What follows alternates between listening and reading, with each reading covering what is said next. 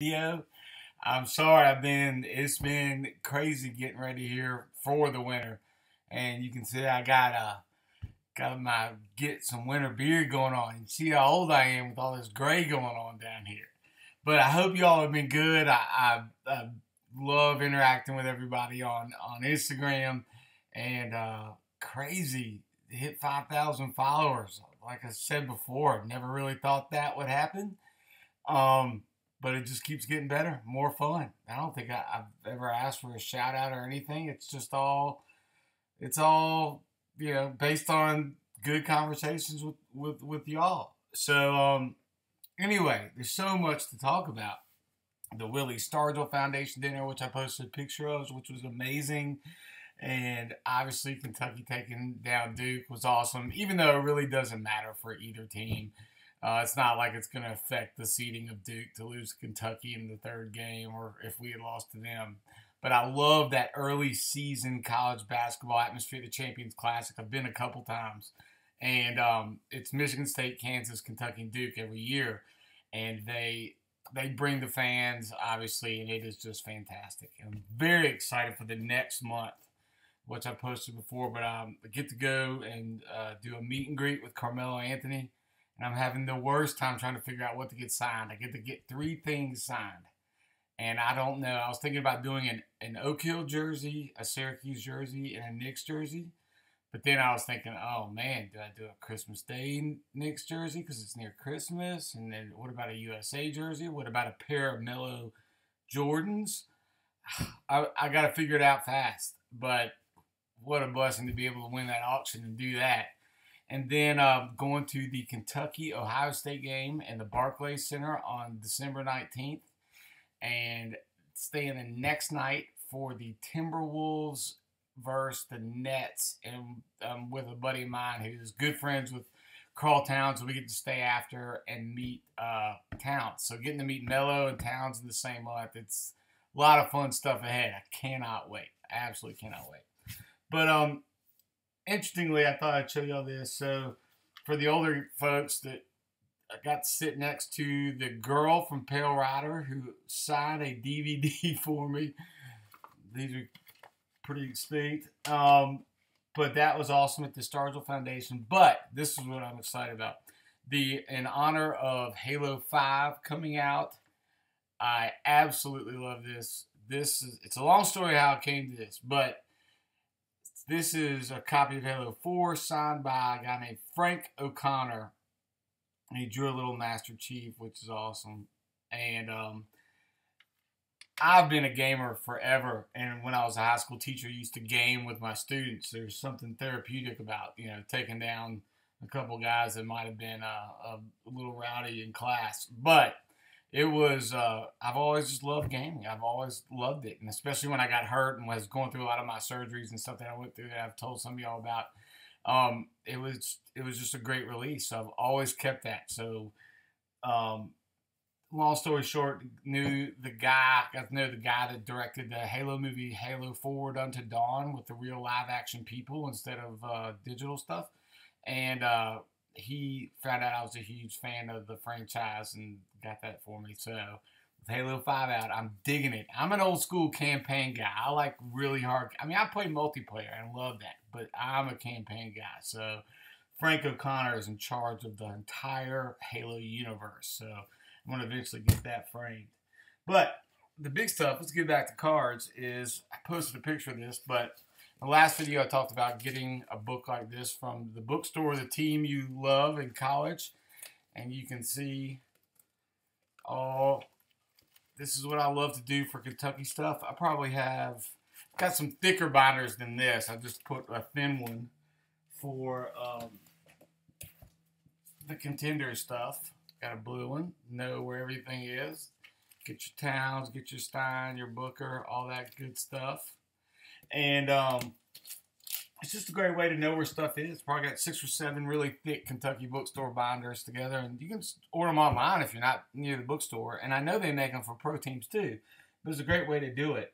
And then uh, I really thought the contender stuff turned out beautiful. I I'm obviously a huge fan because I just adore all things college. So I've posted most of these, but the two D'Angelo Russell cracked ice. Can't believe that. I mean, I bought a ton, but this was right down my alley. And then Porzingis autos. I think I really love to meet him in New York. Um, but really loving going back to what I've said before about the focus. I love the college game, and for a long time, only collected the stuff. Some of the older folks will remember Star Pick, Classic, Scoreboard, Genuine Article that had the only stuff that had guys in their college uniforms. Um, so really, when that went away, and then this stuff came out, and you were only dealing with some upper deck, but upper deck couldn't get didn't have both the college license and the NBA license, so they couldn't do every player. This is just the best. So now my focus, I'm trying to figure out do I go for a set of each Kentucky player, cracked ice, numbered, printing plates if I can, uh, base autos of each Kentucky player, or do I? I've got to wait and see. You know, I know that Prizm has you know Towns and Stein and all those guys in their college jerseys and their pro jerseys. Do I try? It's the fun of collecting. I got to figure that out. What what route do I take? So that gets into the collecting stuff because I've had people say, "Well, do you want to trade for this and trade for that?" And every time I post a, a, a good card, um, how much you know I get that all the time. How much um, do you want? You want to trade all these different things. I want to explain on that. I always hate disappointing people and saying, "No, look, I'm sorry." One, I, I don't want this account to ever seem like it's for a purpose for personal gain. That that's not it. I'm so blessed beyond. I mean, I worked hard for all this stuff. I've had people send stuff. This is not about me getting more. I don't. That, that's not it. That it really isn't. Um, so it, it's a it's about the joy of collecting, which we talked about a little bit. And I've told some people this, but I love to fall in love with a deal, but I've tried to be careful about falling in love with dealing. So if you're a dealer, that's totally different. And there's nothing wrong with falling in love with dealing. But I collect, um, I've had people ask me, you know, why I do this. I don't collect to flip, and I don't think there's anything wrong with flipping. That's great. But for the younger collectors, I think sometimes they fall in love with that transaction And that's when you see guys saying, "Oh, gave up all my Porzingis autos too early," because they just got on a roll and they were tra- they were just doing trades and deals and deals and deals and deals. And I really think that's where that focus part of the year collection comes in, where we're, even the dealers I know have something that they really love. You know, Big Hurt loves Frank Thomas and Chris Sale, and he does that on the side and then he's a dealer, you know, 90% of the time, but he's always got that on the side. And so if you're trading, if you're a collector and you kind of want that museum type, which is, was always my goal, I wanted this to have this sports museum where I could see and remember and see memories and understand that. It's not about the transactions.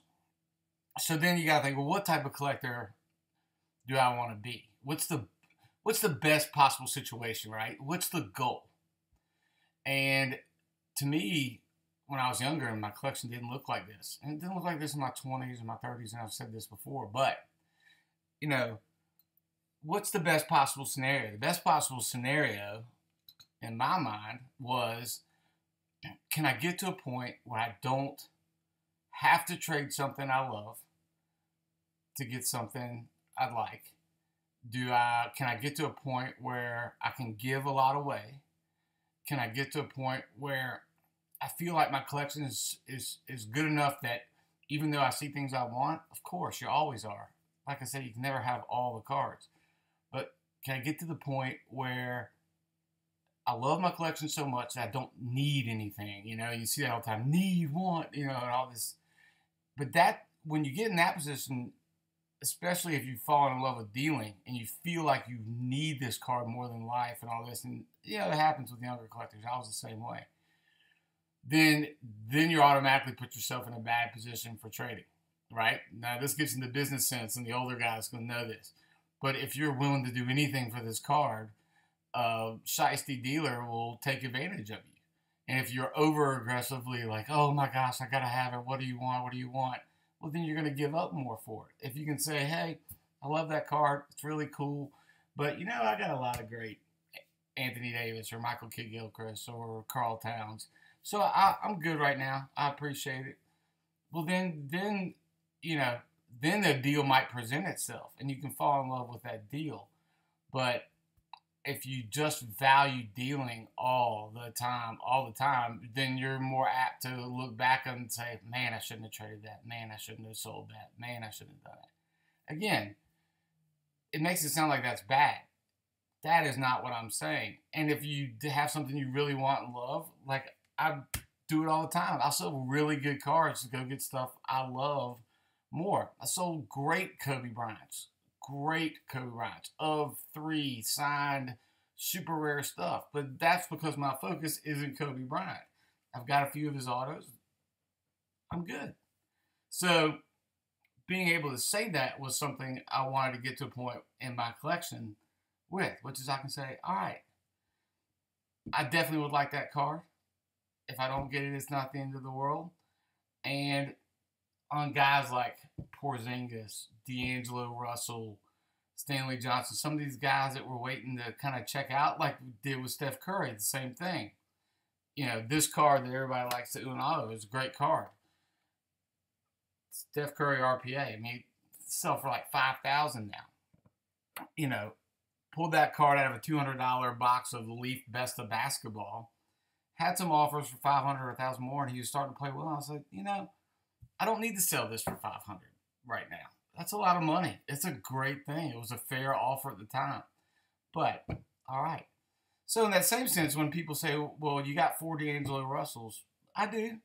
And I'm going to wait and see. He's not getting the PT right now. And I'm in a position in my collecting life where I can. Um, doesn't mean I won't trade it or sell it later. Probably will. I don't need that many. I might give it away. That's the thing. I might just give it to somebody who needs it, um, in my opinion. But I just don't want to fall in love with, with the dealing as much because that's not my focus. And I think it's a good place to be, especially for the younger guys, just to maybe think about, remember that. Um, let's see what else. Oh, and it goes back to worth and value. I get that a lot too. What's this worth? What do you think that's worth? Should I buy this for this? Well, why do you want it? you know, are you buying it to flip it? Then you really got to get into what are the comps, what are the other values, can I get my money back? But if it's, uh, I remember taking some heat, some people like, you paid too much for this Willie Cauley Stein patch. It's like 50 bucks and probably wasn't worth that to somebody looking to flip, but it was worth it to me to get it in house. It was the Adidas patch from the combine. I wanted that. I love that patch. So I would pay more than what a Willie Cauley Stein patch would go for at that time. But it's the the point is it's worth what someone will pay for it.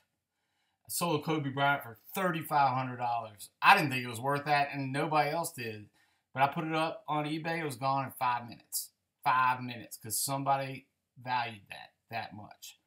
So that being said, I I talked on Instagram earlier about comc.com, which I love. I love that site because I sent a 3,500 cards of mine that aren't worth as much to me sentimentally. These all are. These have values beyond dollars.